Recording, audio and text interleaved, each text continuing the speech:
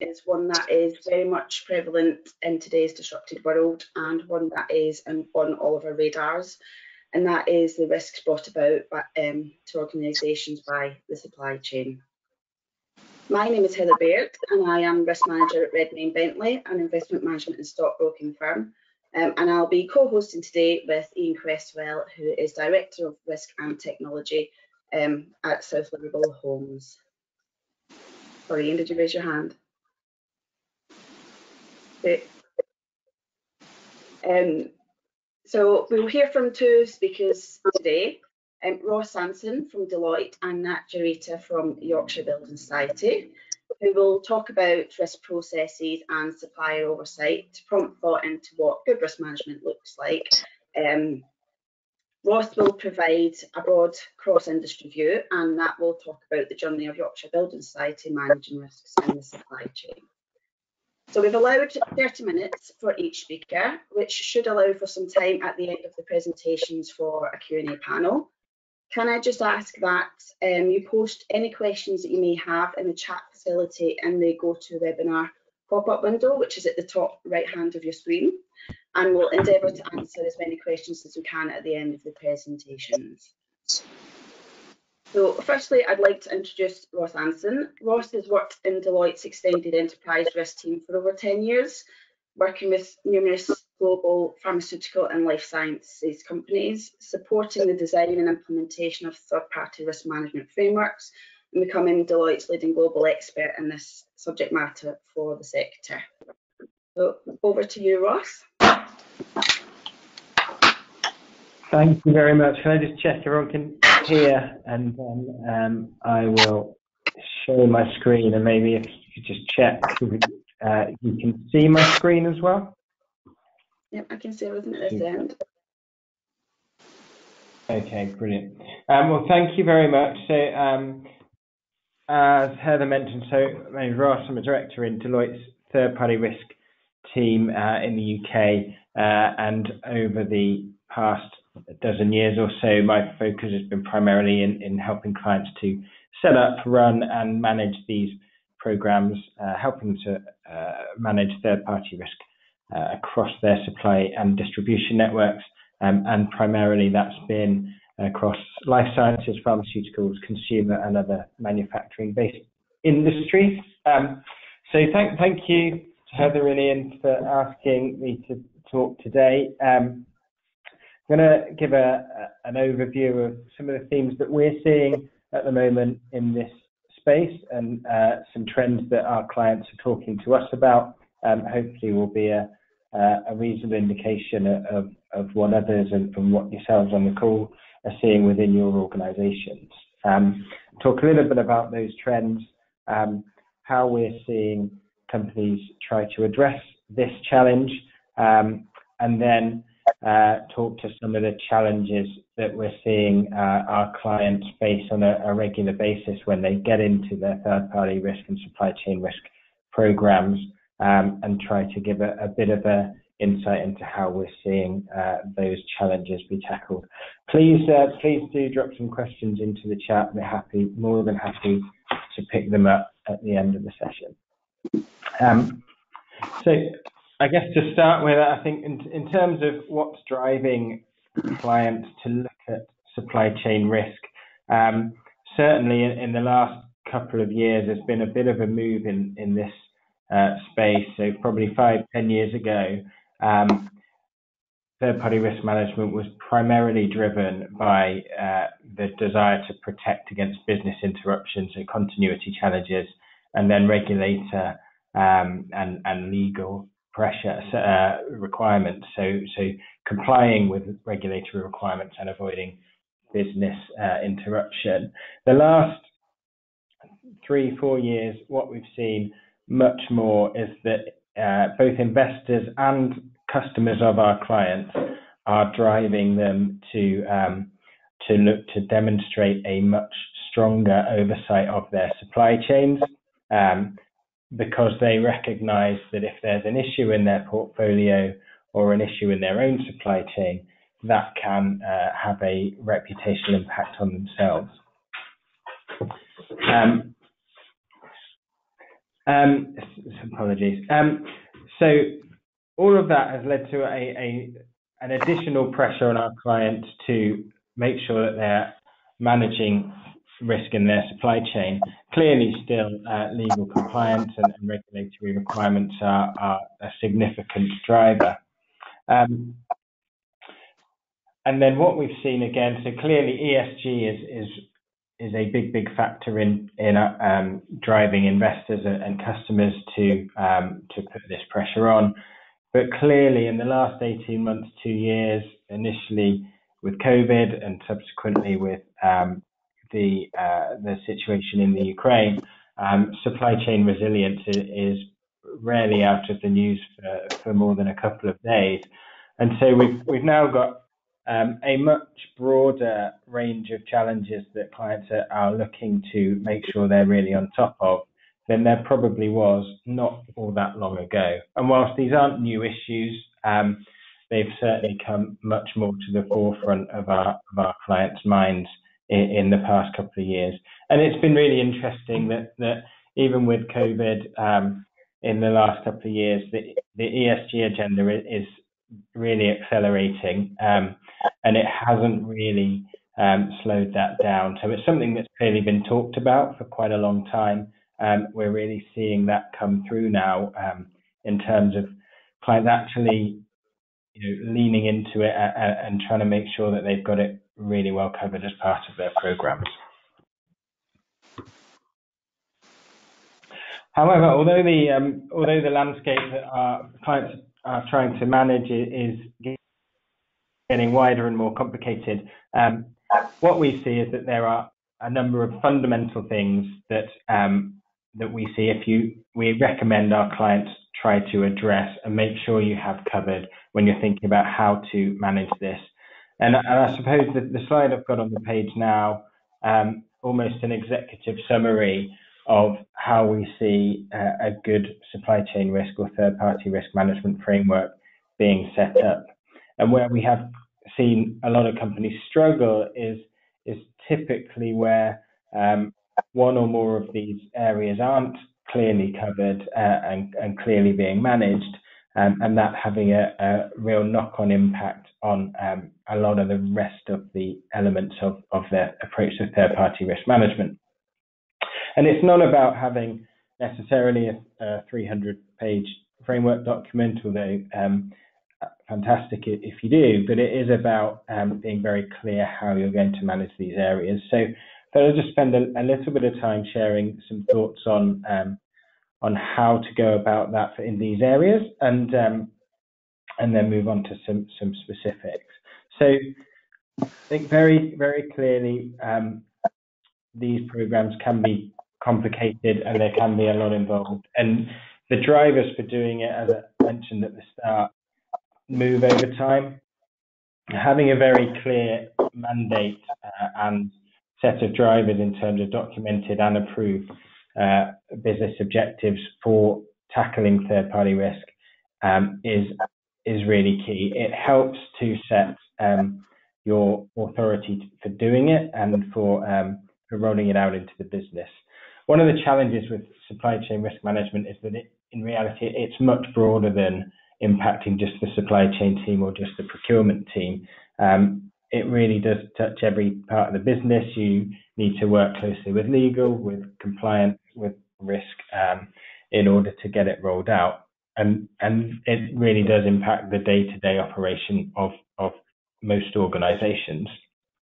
So being very clear um, and having a, a, really senior buy-in to what a, a supply chain risk program is seeking to achieve is really important. And that moves over time, as I said, uh, as the regulatory or geopolitical landscape moves.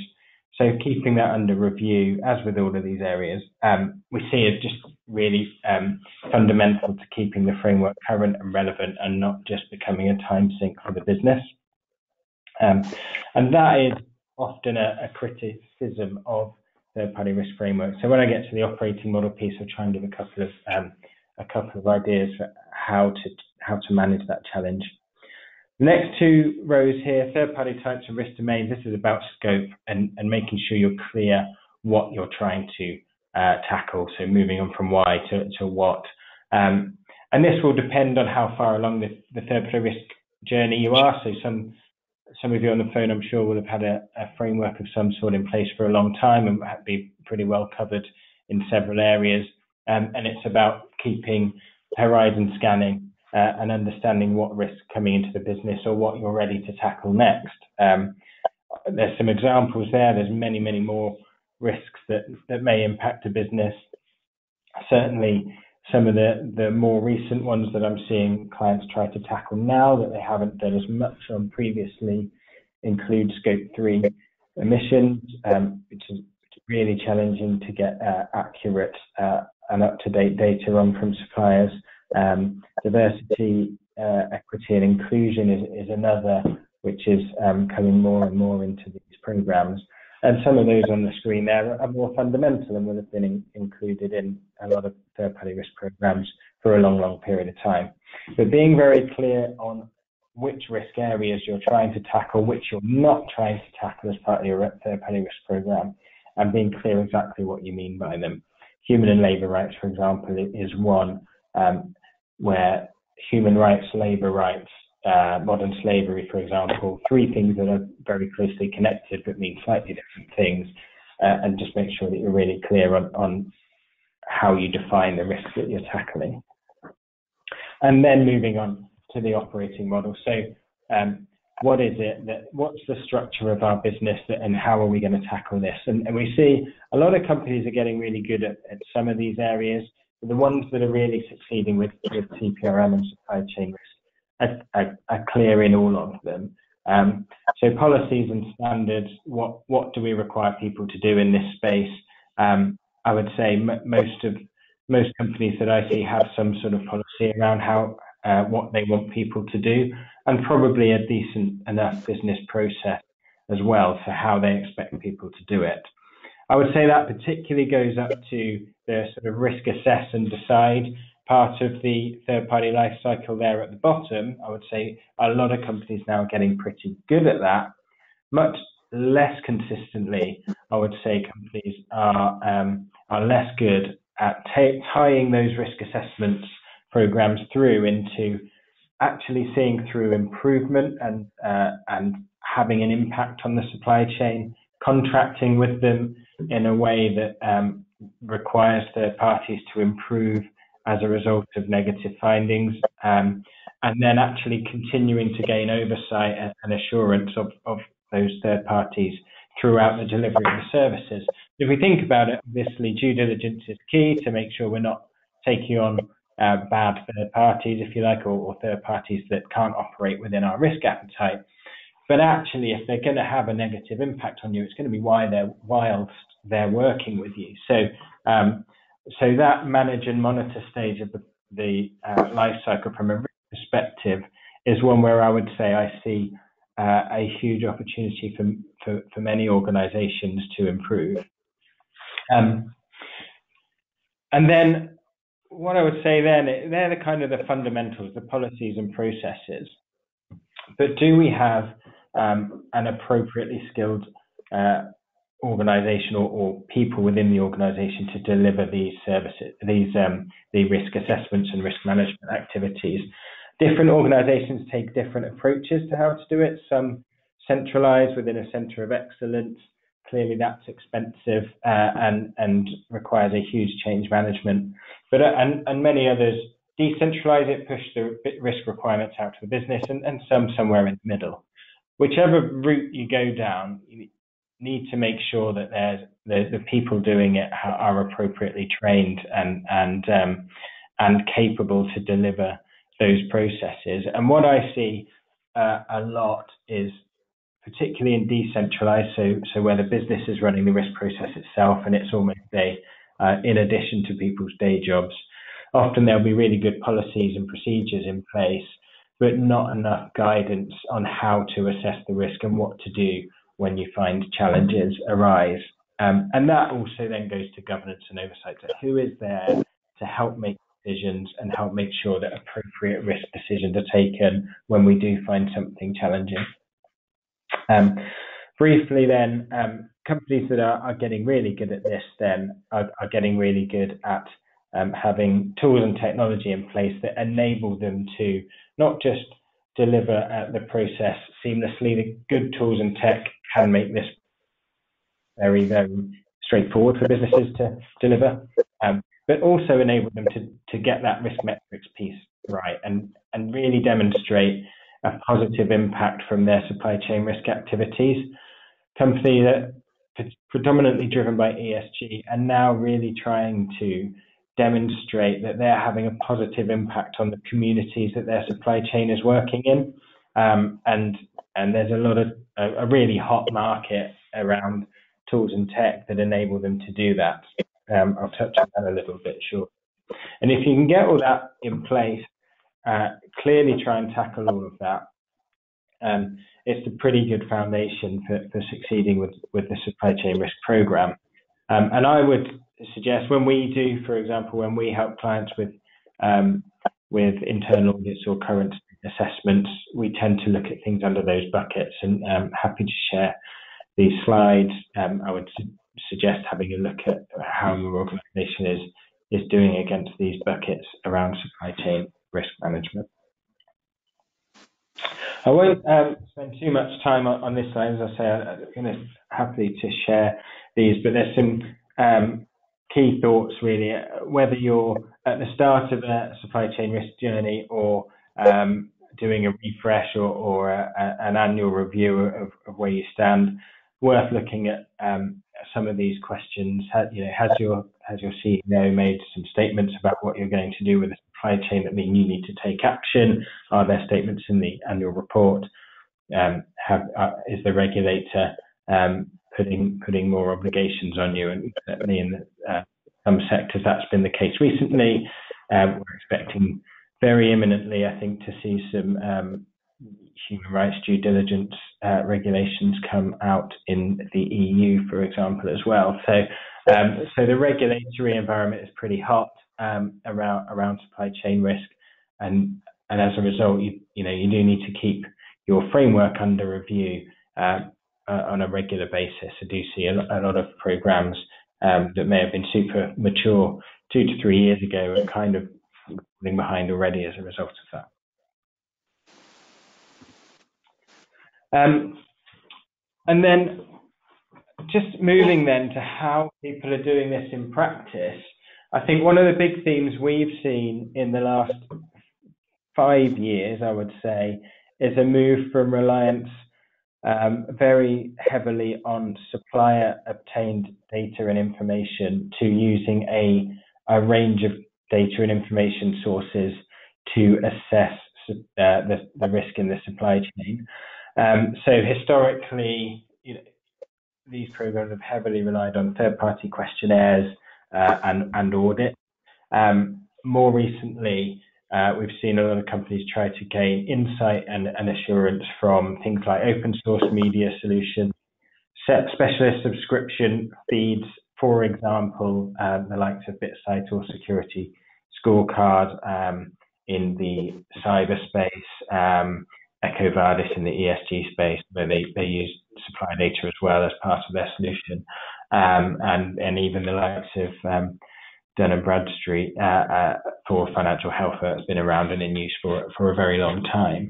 Um, and then over to the left side of that wheel, there you see customer data and internal data. The uh, the strength of some of the community models out there is um, is continuing to grow. So um, in some industries, uh, such as in financial services in, in London with Hellios, um, such as in the pharmaceutical sector uh, globally, really, with the PSCI, the Pharmaceutical Supply Chain Initiative.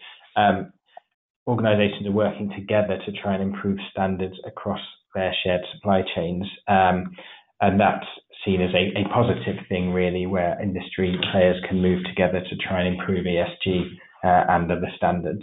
Um, one thing we'd say, I have seen some companies try and really move away from supplier data towards those feeds um, our perspective on this is, is that um, the third-party questionnaires and audits will are, are absolutely crucial, um, and the other data sources are, enhance the quality of assessment that you're able to do.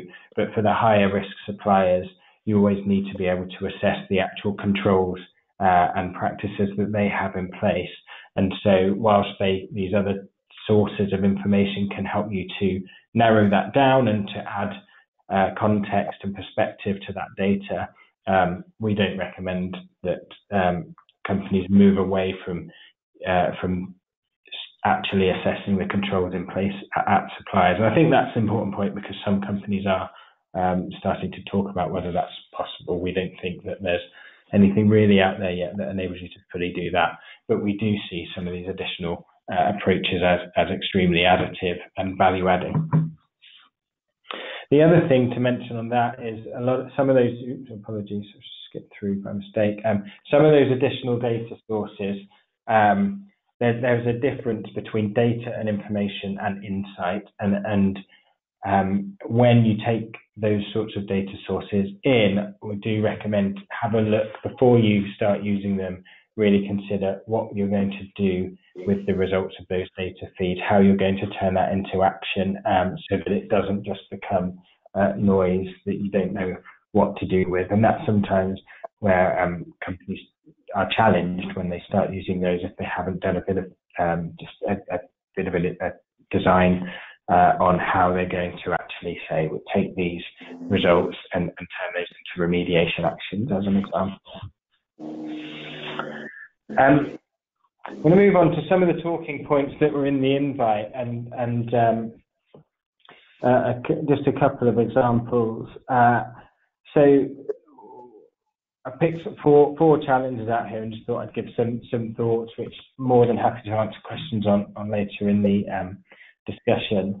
Um, and, and these are challenges that I see a, a lot of third-party risk supply chain risk programs do have. So engagement of the suppliers themselves or the third parties with the process.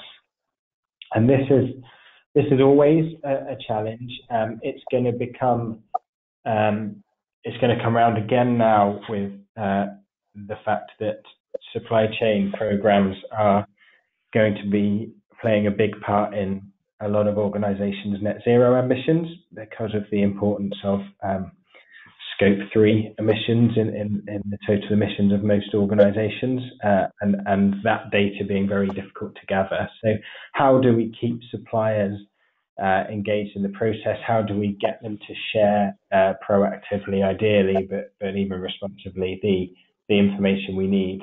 Um, I think there's a few things here. So, um, where this is particularly difficult is if the if the requests for uh, control information or or, um, or or scope three data come after the point of a third party being appointed.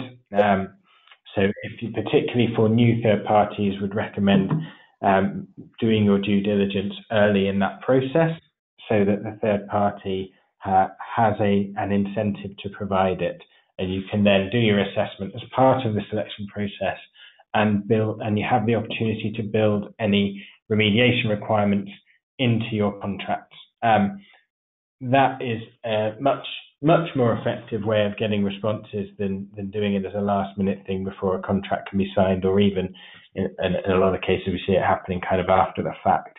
At that point, even just the feeling of the process is that it's a tick box exercise and just one last hurdle to go through. So we would recommend making it part of the due diligence and selection process.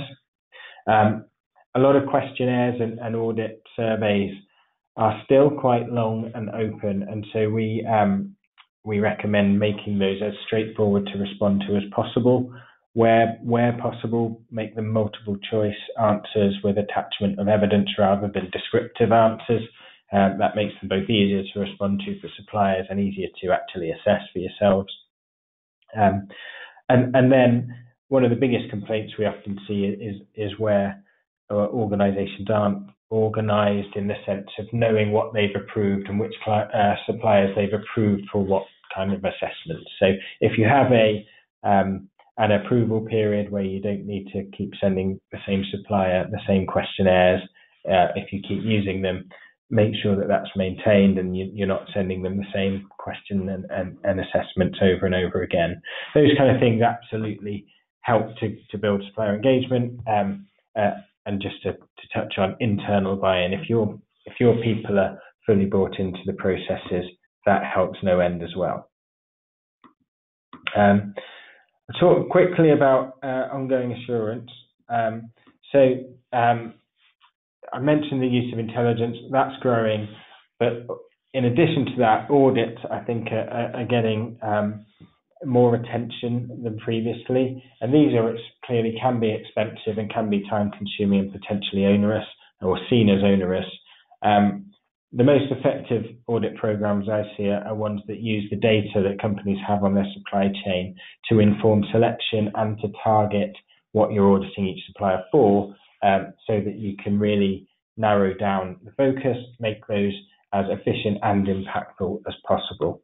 Um, two more slight, um, two more themes that were in, that were mentioned in, in the um, in the notes uh, that went out. So resilience um, is, is, right at the forefront now, and this is a this is um, something that companies are really talking about as a, as a trade-off. Ultimately, a lot of companies would have sought a lean, cost-effective uh, supply chain for a long, long period of time, and now there are significant um, continuity and resilience challenges in, in a lot of supply chains.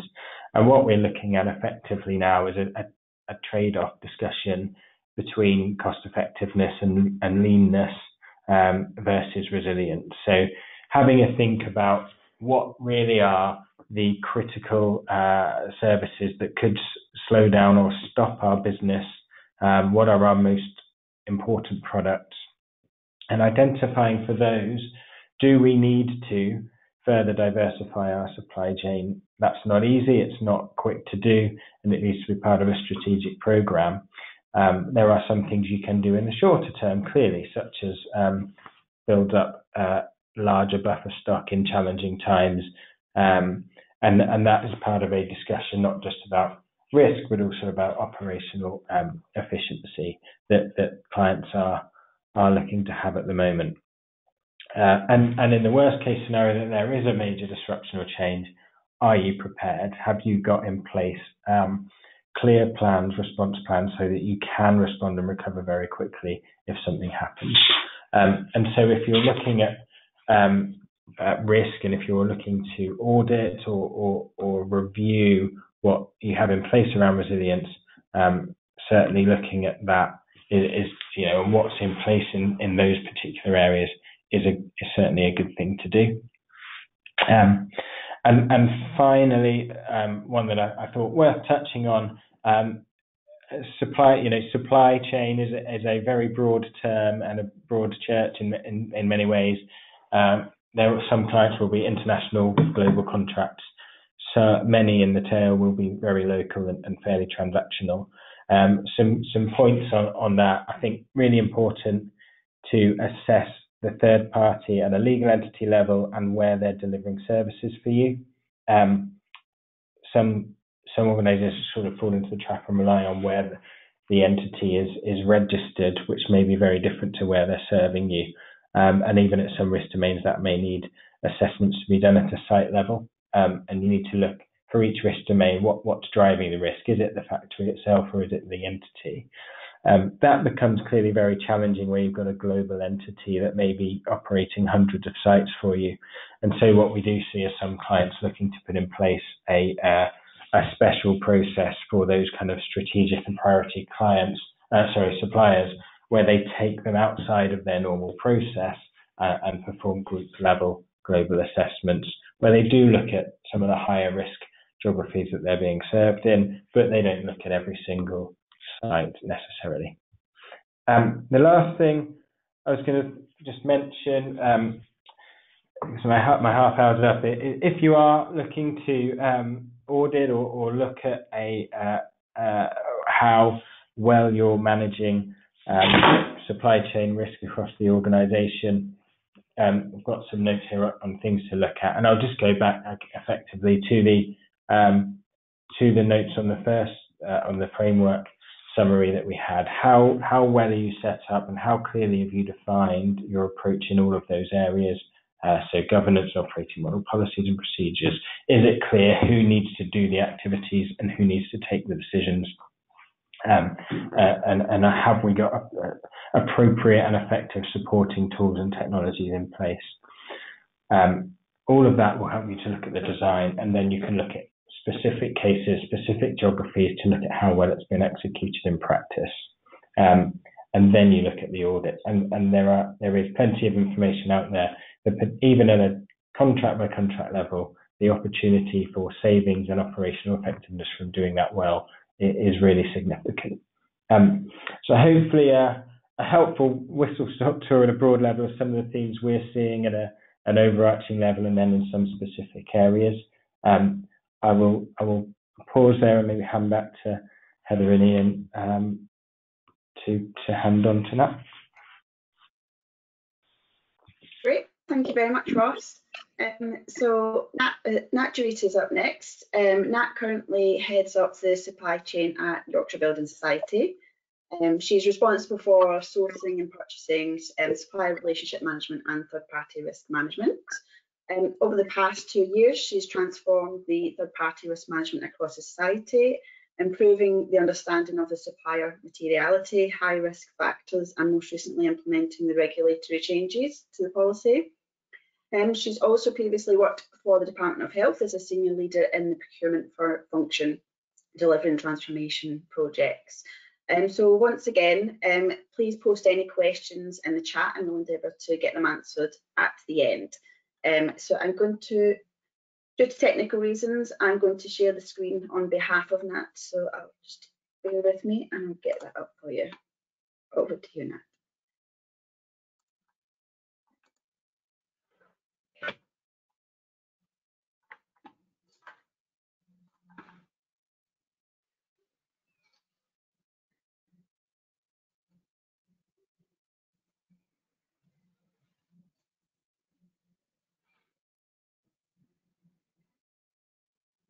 There we go. Can you hear me? Okay. Yeah. Thank you. Oh dear, I'm often muted on, pers- on purpose, and, and, you might you might want to do it again in half an hour. Um, brilliant. thank you. Thank you, Heather, for that introduction. Um, and thank you for offering to drive the slides as well. Um, yes, I'm, I'm Nat Jurita. I am the head of supply chain at Yorkshire Building Society. Um, and as Heather said in, in, in the bio there, um, supply chain here covers um, it's both first line operation and also first line risk function. So we look after all of purchasing um, and sourcing, and um, we are also the centre of expertise, if you like, for all things supplier related. Um, so I am just going to ask you to move on to the, the first um, slide from Heather, and I um, will just chat you through. So um, some of the things I'll, I'll, talk about will absolutely cross over with with what Ross has said, but hopefully it will all be useful useful builds for, for everyone. Um, and and I think Ross did reflect on it, but I think it's fair to say that third party risk management has really picked up pace um, in recent years. And I think since the pandemic, you know, it's become the hot topic of discussion in, in many boardrooms and certainly is at, at the Yorkshire. Um, so today I wanted to share some personal experiences on that and what it's like working within the building society and the financial services industry. For those of you um, that are not in that sector, hopefully it will be um, insightful. Um, I took up post in February 2022, so just prior to uh, to lockdown. Um, at the time, the director of recruiting was looking for someone with both change and supply chain background. Um, and that's because they, would identified quite a significant requirement to transform and upgrade supplier relationship management across the organisation. So um, the function at the time had been really heavily audited, both internally and externally um, significant regulatory change coming down the pipeline, and, and we identified essentially that um, third party risk management capability it, it, needed a complete overhaul to make sure that we were able to be regulatory compliant in the future. Um, I think at the time, if I'm honest, most people managing suppliers they enjoyed the partnership and you know all the perks that used to come with working with suppliers, and I think that that posed probably the biggest shift that we needed to make, moving away from solely focusing on the people and the relationships and actually putting a lot more focus on outcomes and the risks of those partnerships. Um, financial services leaders, for those of you not not in the sector, actually regulated themselves, um, and that's through something called senior manager regime. Um, and the regime describes the functions of a business, the accountabilities within that function, and then who should actually be accountable for those things. And role holders actually have personal liability for those accountabilities. So, you know, if found to be misconduct or failing to carry out the duties effectively, they can face criminal prosecution. Um, and that can actually come many years after they've left left company. So it's not just whilst they're in role. Um, that's pertinent for, for me because supplier management is actually an accountability of something called Senior Manager Function 24, um, and that is the Chief Operating Officer's area. Um, at YBS, that is delegated to um, what is called the Director of Shared Service and Resilience, and my role aligns into into there. So I'm essentially um, accountable for maintaining those those responsibilities. Um, and I think you know that that is quite tricky, um, in particular with a devolved third party risk model, which is what we've got in the organisation. Um, I think also the understanding of third party risk and what it actually is is quite a significant challenge. Um, probably the best way I would describe that, um, and, and Ross touched on it, is that it's not a thing in itself. Um, so instead, it's actually an umbrella term for many different risk domains, um, all of which businesses are typically used to assessing internal resources against. Um, however, as we know, external resources, you know, some of those lenses actually pose a greater risk than others. I tend to think about that, I guess, as in, you know, if you if you're working within a fort, you know, within the fort walls of a castle, you can protect your own resources. But the moment you build a door or a bridge to the outside world, then that poses a weakness and a risk or risks. And it's those things that in third party risk space that you need to be identifying and understanding. Um, you can see at the bottom right hand side there of the slide as well that there's a bit of a timeline and that just articulates some of the triggers that we've had for changes in recent years. Um, so it did actually start with the um, some regulatory change coming down the line um, and internally then assessing how we might deliver that. That then identified the need for the upgrade.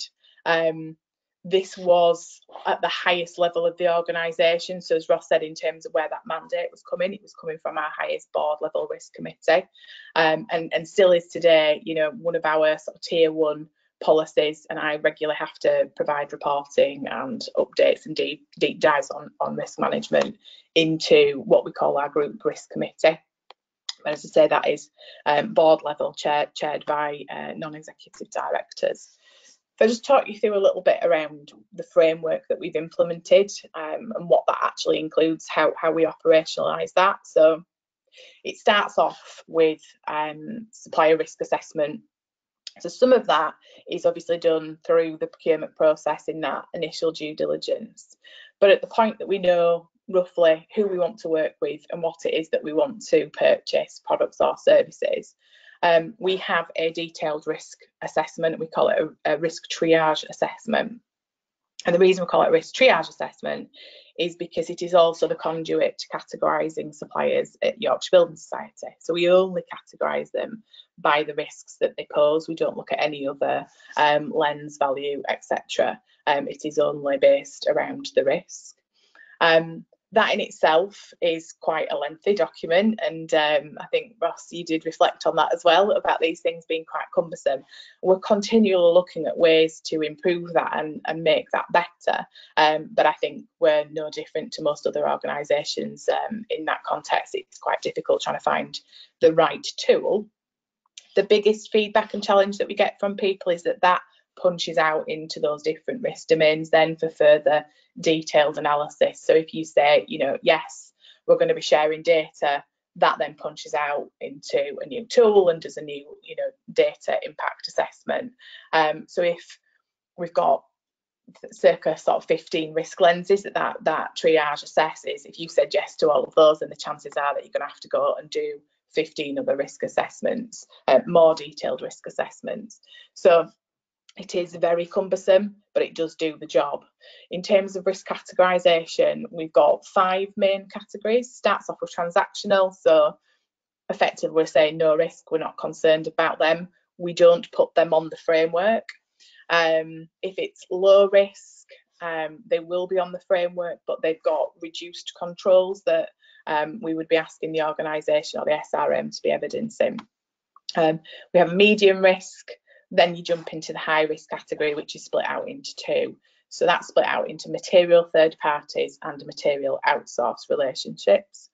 Um, material outsourced relationships, we have to report to the regulator, the PRA, and the PRA have a say in whether we can um, sign contracts with material outsourced organisations. They're also very interested in material third party relationships a lot of that at the moment is being driven by cloud and the growth in, in, in, that, in that cloud space. Once we've onboarded a supplier, we know what the category is, then we will onboard them onto the framework and depending on that category then there'll be a different um, level of due diligence ongoing that we would overlay. Um, we do use a system and we ask our SRMs to routinely um, evidence controls within that system and also to routinely go in and score the evidence. So, for example, you might say yes to I have a business continuity plan with this third party, but it's not where it needs to be. So you wouldn't get a green score, you'd be scoring it as a medium, and then we'd know that there's work needed to be done on it. Red is there's no business continuity plan. And we do that, as I say, across sort of 13, 15 len uh, risk lenses, risk controls. Um, there's a lot of reporting comes off of the back of that. Um, there is an assurance process as part of the framework that my team support. I'll talk about that in a little bit more detail um, shortly. Um, since implementing that framework, um, a lot of change has been on the back of um, the PRA's um, revision of their own outsourcing policy, driven very much by the European Banking Authority and the changes that they were pushing out across Europe.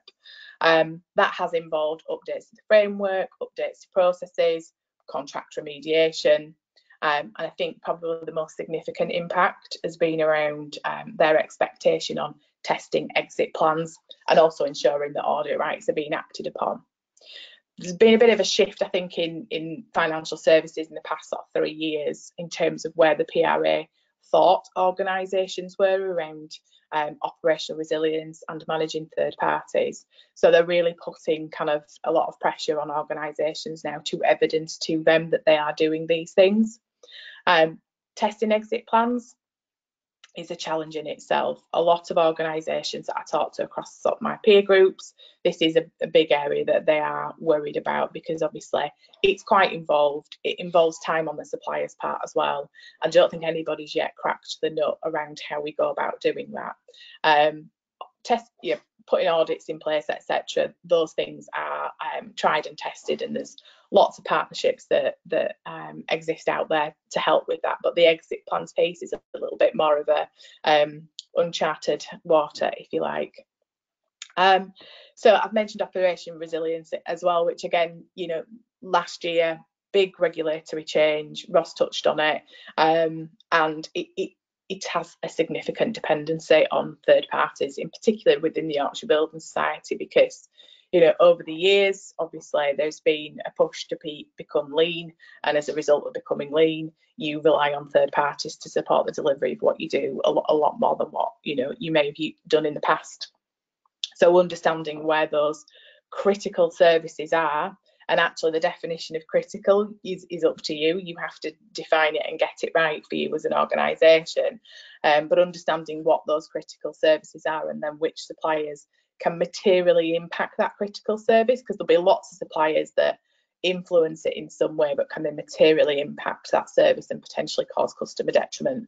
Those are all the sorts of things that we've been we've been thinking about in that space. Heather i'm going to move on to the next slide please. Thank you. Um, so as you can see from that timeline that we've just talked about, change is uh, constant. Um, and that can actually pose a real challenge if you are working across an organisation and trying to galvanise change constantly across many different people and reporting lines. But change in this space in supplier um, management, it, it, you know, it's a constant. And I think that change capability and flexibility are actually the keys to ensuring that you're third party risk management framework practices don't just become a tick box exercise and that they continue to drive good risk outcomes. Um, now, we are definitely not 100% successful in that yet at YBS, um, and it's something that, you know, within supply chain, within that central function, we have to work really, really hard at all of the time to maintain. Um, I think the important starting point is to recognise how engaged your supplier relationship managers actually are in third party risk management. As I said at the start, they had a very different mindset around what managing a relationship actually looked like. Um, and we've made some really good progress on it. So, you know, it's just that we're not probably where we need to be just yet. Um, our single biggest challenge, I think, is the model itself for SRM um, and there isn't one.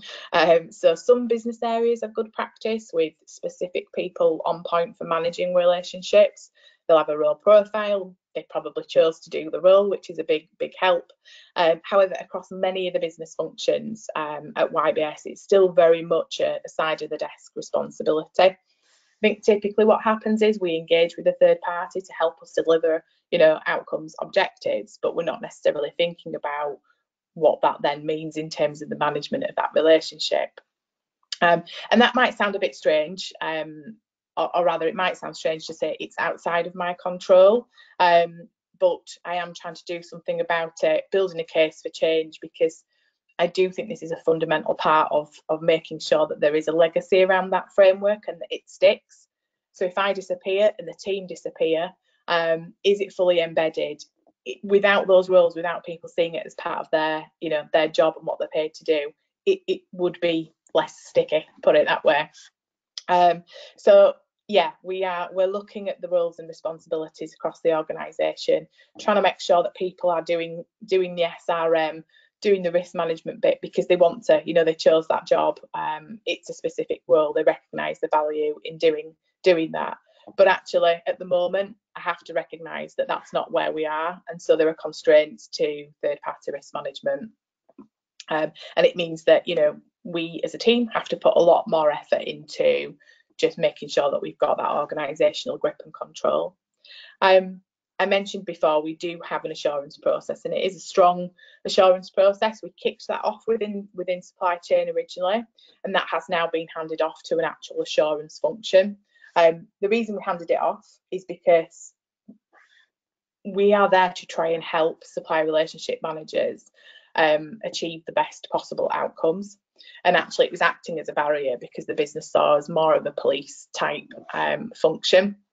Whereas, obviously, assurance teams already have the reputation around good assurance and good processes, and um, people expect, um, you know, them to be doing that assurance role. So that's helped a lot.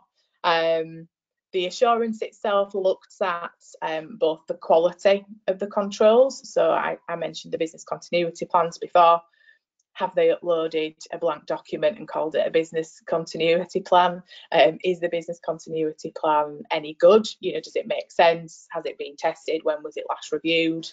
Um, and also, are they actually scoring their current position on that control correctly? We have spent quite a bit of time actually listening to colleague feedback around how the framework works and how the controls are applied. Are they proportionate to the level of risk that a supplier actually poses to the organisation? Um, I think originally we um, approached the rollout as a one size fits all. Um, based on timing, you know, we needed to get it out there.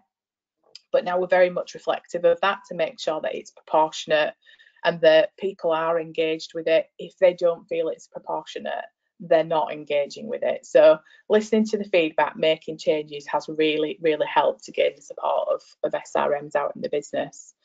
Um, I think, you know, colleague engagement in general it, it, does improve directly as an output of continuous improvement. That's probably true for, for most business functions.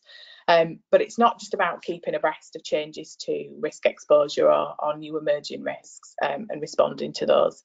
I think it's also just recognising, you know, that we are on a journey um, and that, you know, there are two ways to make that third party risk management better. And that is both looking at the external influences to change, but making sure that we are constantly listening to the feedback of people in the business. So I've talked quite a bit about regulatory, reg, regulatory change, so I won't labour too much on that point, but I think it is an inter interesting one from financial services that, you know, my peers that are working in banks who are multinational, um, they will attest to the difficulties, I guess, of working across multiple regimes and trying to maintain effective, efficient frameworks, you know, that are proportionate when a lot of those changes don't often often align. Um, so within the Yorkshire Building Society, we're, we're not multinational, so we take our lead from the UK regulators. Um, it is difficult, but it's much easier having to only respond to UK regulators. And I think the last point is perhaps the most important one. So, you know, flexibility. Um, and I'm sure you all know, you know, you can prepare and have the best risk management framework, but it, will never be enough. Um, so you've got to be flexible um, and be able to, you know, respond quickly to the risks that become issues. And um, just highlighting a few examples there. Obviously, we all are familiar with um, with at least two of these, but what was interesting for me is pre-pandemic you know i've got friends on an nhs trust one week before lockdown were saying that you know it's not something that they were worried about. And a week later you know my team and all the business are working from home and we're trying to assess what that means for for our supply chain. Um, and then you know not so not so long ago sat eating my breakfast doing my emails watching the news people interviewing Ukrainian members of the public who were really relaxed about about the threats. And the next day, obviously, invasion and supply chains, and the teams are just impacted all over the world. So very quickly, despite sometimes the the warning flags, these things um, take hold. Um, and then the last one, I think, is interesting because. You know, two years ago, cyber threat is probably the one thing that we were talking about from a financial services perspective as being the real threat. Um, but again even in that space where it is a real threat it, it you know it can catch us off guard. Um, and i think the SEPA um, example you know where they were significantly attacked on christmas eve is a really good example of you know we're, we're all humans and the guard goes down and, and something terrible can happen. So it really is about how flexible you can be and quick to to respond to those changes.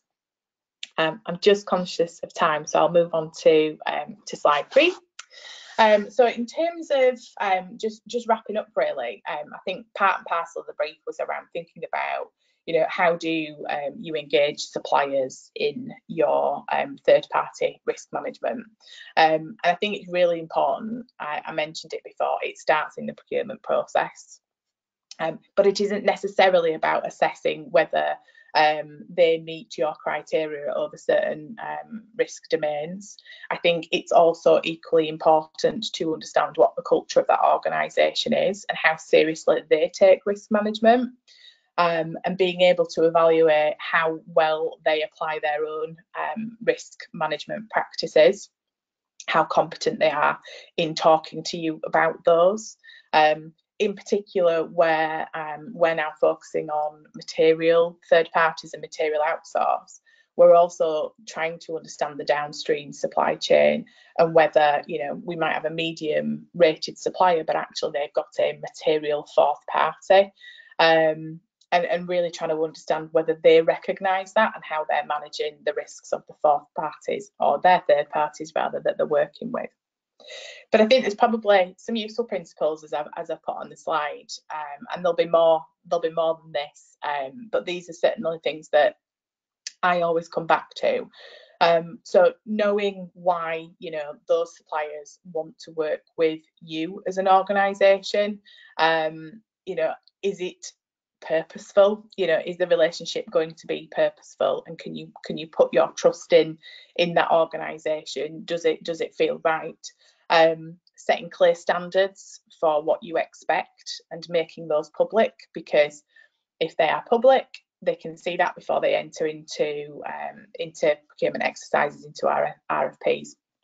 Um, third party risk management um, in the procurement process at the moment for us is um, still quite manual, but we are looking at ways to automate that. We are working with, as, as Ross mentioned, um, a company called Hellios. We haven't operationalised that tool yet. Um, we use it more on an ad hoc basis, but certainly we are seeing some of my peers across other organisations are using that to help inform their evaluation of, of suppliers coming into processes. The, the biggie is don't make silly requests, know and understand the, the supplier themselves. Um, certainly with some of the big strategic IT suppliers, you are not going to get actual hands-on documents that you expect. Um, so you have to be um, more innovative about how you address your needs and concerns. Um, also, you know, know what their limitations are. So from an audit perspective, you know, I'll give you an example. We've got one relationship at the moment where they do a lot of work for the MOD, you know, and we were asking to have access to their systems. It's just never going to happen. Um, so try not to make silly requests. Always make the request purposeful and help the third party to understand what the value for you is in, in asking for um, the evidence around uh, risk management trying to be collaborative um, as much as possible, I think is um, is really key. Um, so, you know, there are tools, as we said, Hellios is, is a really great tool for um, collaboration where you're minimising the amount of work that the third party has to do because it's once and done for them and all their clients can tap into the same information but also being collaborative around um, how you address your your risks and concerns. Um, and also ensuring that you know within the contract you're not hampering your ability to exercise the rights over risk management um, and that they are going to be fully cooperative on things that you need them need them to be. Um, the point around behaviour, I think, is has been a lesson learned for for me definitely um, in terms of how a supplier behaves and engages. If they think your priority is around value and therefore you know they're going to get time with your most senior executives because you're spending a lot of money with them the behavior is very different to if you're telling them you're a priority for us because we see you as carrying the most greatest risk. And when you're going in to talk to our ceo we'd like you to remember that. So it really does drive a different behavior and priority from your supplier. Um, and yeah equally a couple of really important points just just to finish off on. Your frame of reference often will just be yourself and they're obviously facing off into many organisations. So coming back to that collaborative point, they may have really valid ideas um, and innovative ways to help you to address your um, risk, um, issue, risk and issues um, because of what they're seeing, what they're being asked to do with, with other with other suppliers, sorry, other clients. Um, and today, you know, actually, because of the um, importance of data and the regulation around data, you can often be just as much of a, a risk to them as as they are to you. So it's really trying to understand what that two two-way risk exposure piece is. That's all I was going to cover, and I have just about met my 30-minute criteria. Um, so I will hand back to to Heather. But thank you so much for for letting me share our experiences at YBS. Great. Thanks, Nat, and thanks both of you for, for sharing your experiences and your insights today. It's been valuable. Um, we have had some questions through. Um, Ian, if I can hand over to you.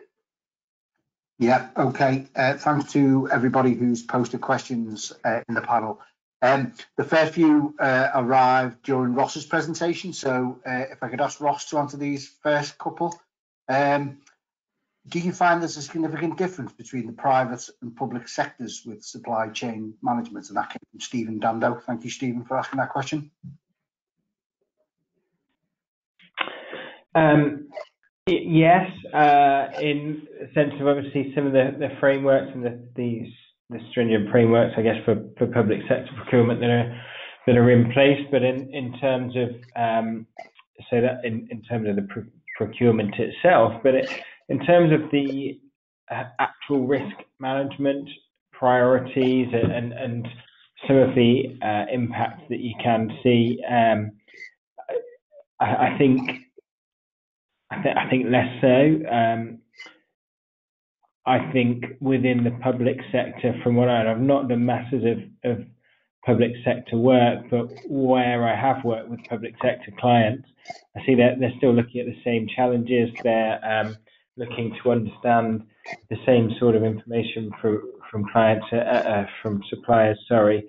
And actually, they still have very strong um, uh, relationships with their suppliers where, where they're looking to um, to develop the same uh, the same sort of uh, risk assessment processes.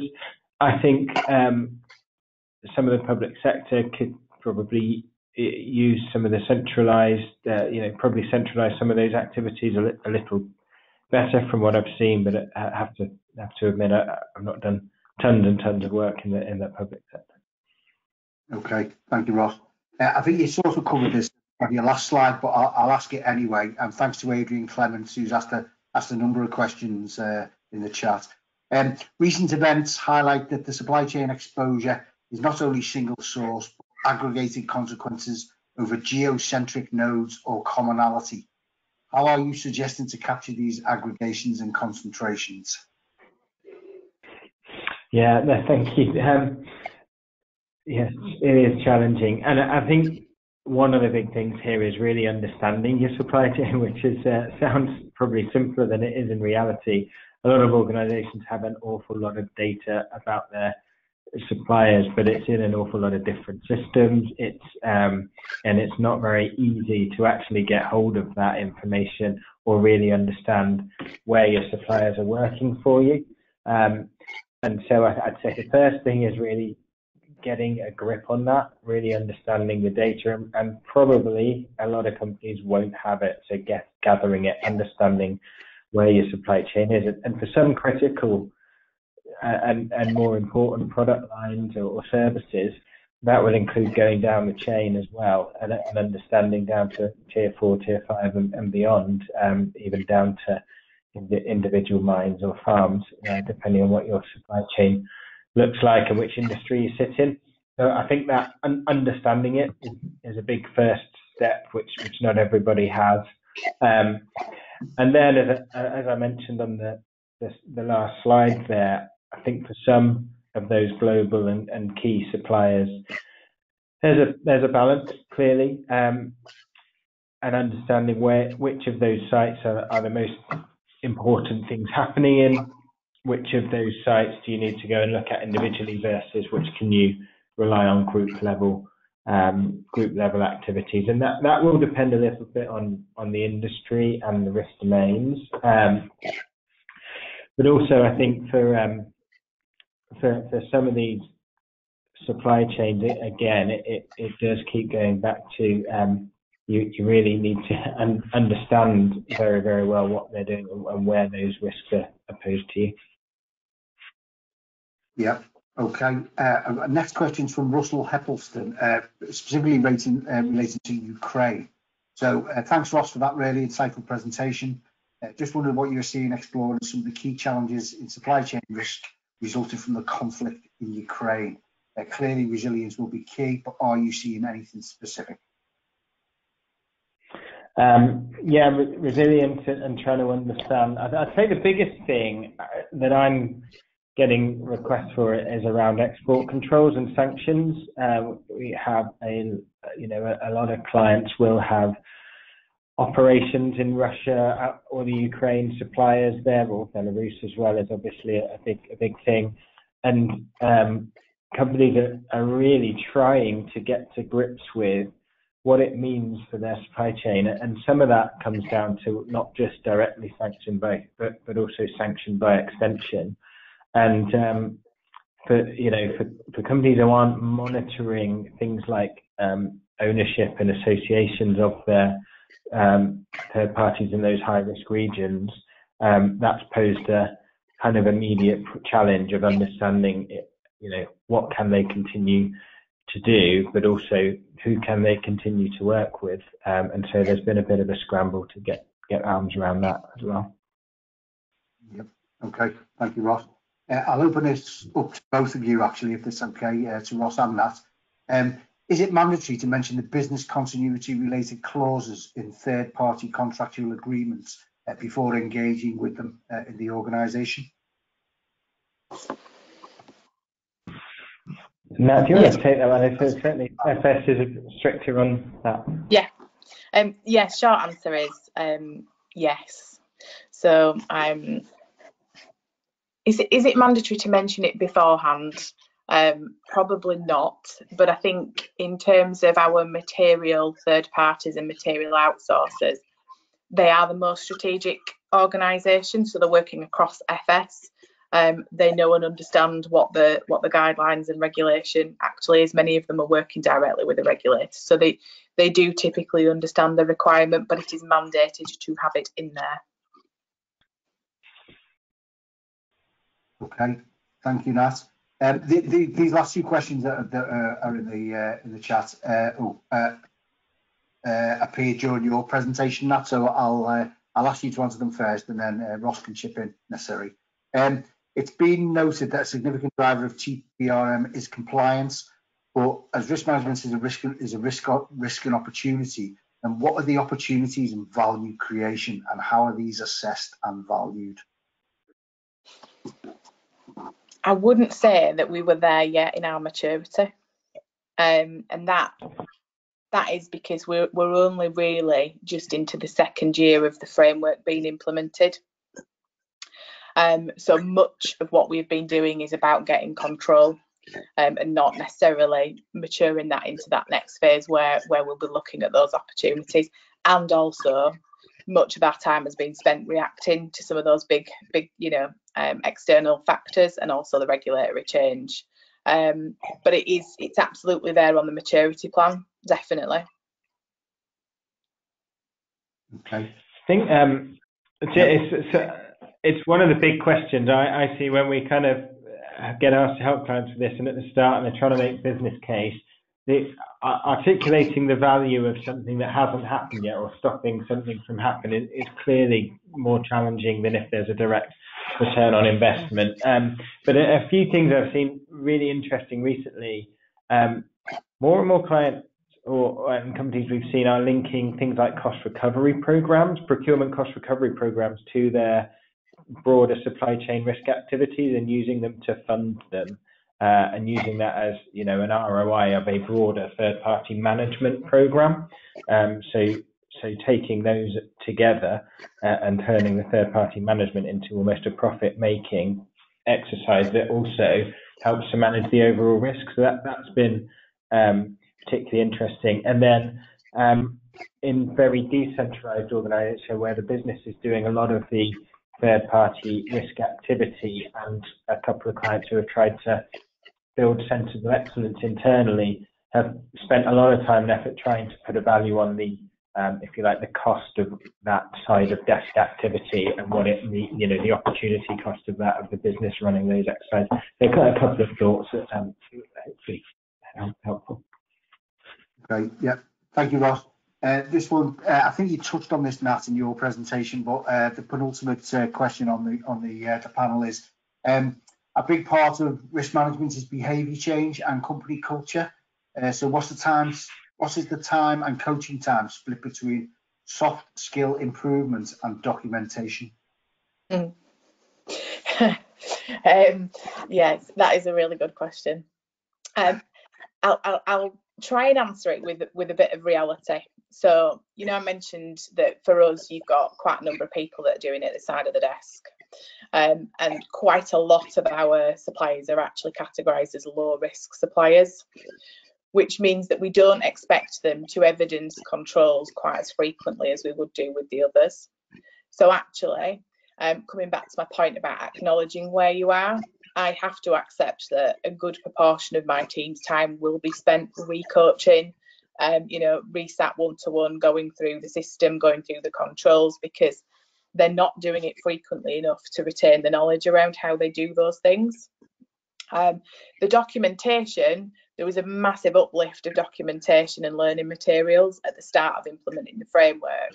Um, and we review that on an annual basis now. Um, that said, there'll be ad hoc reviews as and when we get we get feedback as well. Um, but I'd say most of our time is spent in that coaching space. And like I said, you know, being completely transparent, we're not there yet in terms of making this stuff stick. If we were not there, you know, then a large part of this would fall away. So we are still trying to fix that through the maturity plan around getting this to be self-sufficient in the business and make sure culturally people are seeing this not just as part of their role, but they see the value in doing it and they understand why managing the suppliers in that way is so important. Great, thank you, Nat. Uh, a couple more questions just popped up since you've been speaking. So uh, one specifically uh, for you, Ross. So uh, interesting point from Ross around cost recovery and ROI. Um, could Ross give an example of how the cost recovery program works with the third party risk piece? Is that through contract lifecycle management or question mark? Yeah, exactly. So um, doing things like, you know, I talked a fair bit about really understanding your supply chain, what they're doing for you, and as part of that, understanding who's got really complicated um, billing and performance mechanisms in the contract, and therefore um, would be most likely to have misbilled. Right? Most of the time, when when we are involved in that kind of stuff, it's completely accidental because the com- the clauses are just so complicated that um, people don't really understand them or, or, or whatever. So it, it's it's just including that in understanding the third party population, identifying um, you know nominations for for um, for audit, and then effectively having the um, governance and the program mandate set up so that the recoveries from those kind of programs are, are used as part of the budget and, and for funding TPRM activities, which um, which is you know goes a long way to making the case for um, for more focus to be put on put on the activities that need to happen. Exactly, yeah, through through the contract through understanding third parties and, and using the contract. So you should have strong audit clauses, for example, particularly where you've got complex or difficult um, difficult engagements. Okay, thank you, Ross. Uh, I'll, I'll open this question up to, to both of you, both Nat and Ross. Um, any advice on how to overcome the barriers to suppliers being digitally integrated to share verif verifiable production progress on projects where project visibility is crucial due to the integrated nature of deliveries to the overall project success? So, question around digital barriers. Any experience? I'm not sure I understand that fully, Ian, to be honest. Yeah. So is there is there is there a is there a point about uh, some of the supply chain not being digitally integrated with with, with your organisations, and, and that can become a barrier to project success? Yeah, well, from, from experience, we're we're not digital. You know, in it, a lot of our processes are currently quite manual. Um, I don't think it acts as a barrier it probably does hinder both the performance of the third party and you, you know yourselves in terms of getting that that project over the line. Um, and i don't think that there is enough um, hopefully this is answering the question but i don't, I don't think there's enough um, emphasis put on the time it takes for suppliers to engage in processes you know and the cost to a, a supplier um, and that's certainly something that I'm trying to push at the moment through the procurement processes, just to be mindful of. You know, it costs suppliers a lot to engage in a process, so we need to be thinking about how we make it efficient and effective in the absence of, you know, being able to digitally connect with them. Thank you. Uh, we've got another one, another question pop up uh, from Gemma Durham. Um, with regards to the surveys I'm not repeating questions, how often and what basis do you change? And what is the meaning of obtaining internal buy-in? Okay, from Gemma. So I think certainly the surveys are driven by um, not necessarily continuous improvement, but much more around the external drivers. Um, we do I, I definitely don't see organisation us reducing risks um, or, or the risk exposure on certain risk, risk domains. Actually, it's it's the opposite, if anything, and we're constantly adding in more risks that need need to be assessed. Um, I think that that is the key piece in terms of where your processes are manual, and certainly what we, we're experiencing at the moment is it's so difficult to make those efficient for people to be able to complete when they are manual and you're constantly layering in new things to consider and, and assess, which is why, and I think Ross, you touched on it in your presentation, that shift to um, digital tools and external data is really, really key. And I, I think there will come a, become a crunch point, certainly for YBS, and I'm sure other organisations where you physically cannot get the quality of risk assessment, let alone you know all of the assessment done that you want want to be done. So you are going to be forced to go externally for some of that information. Yeah, I, I agree with that. And I think the um, it's certainly important at, at, a minimum to be um, sending out new surveys when the third party starts doing something new for you certainly. Um, and and for the higher risk third parties you want to you do want to be reassessing them relatively regularly but there are, are things you can do as Nat said about around digitization um, to, to make that more straightforward for them. Um, if you have and again this does differ somewhat by risk domain and, and industry but if you have risk domains uh, where you are comfortable to rely on, say, a legal entity's assessment for a period of time, say one year, two years, three years, if as long as they pass it and you're comfortable with it, um, then I think it's really helpful to just be organised and make sure you've got a clear record of of that and, and that you have a way to enable people to identify that so they don't keep sending out, you know, this third party sent answered the data privacy questionnaire last year for the exact same scope of services down the road or, or whatever. You know that that kind of thing does does make a big big impact on how um, how onerous it, it is or isn't to support a, a company's third party risk program. Yeah, okay. Jerry's just popped another question uh, as well. Would you perform the same financial due diligence each year, for example, but ask different questions? Yeah, we do at the moment. It doesn't matter what level of uh, risk they pose, we only have the capability to assess their stability through one um, means. Um, so we are, I've got a project going on at the moment to look at working with some external third parties to try and um, ensure that certainly for material third parties and material outsourcers, we can get a deeper understanding of their, their financial stability. But at the moment, I'd say it's not adequate enough. Great, thank you, Nat. Um, there's no further questions uh, in the panel. Uh, Heather, do you want to wrap up or do you want me to, to close? Um, no, that's fine, I can do it. So once again, thank you to Ross and Nat for presenting to us today and thank you all for listening in. Um, the Northwest Regional Group is working on our next event, which potentially will be an in-person event. Um, so just thank you all for joining. Thank you. Heather, Thank just, you. Thank you. Just to, just to Thank add, that you. will be on the IRM regional website as well, so we will load them on. Yep. Yeah. Yeah. Okay, thank you, everybody. Thank you, Nat, and thank you, Ross. I know how busy you are. That was No problem. Thank you. Thank you very much. Bye. Bye. Bye.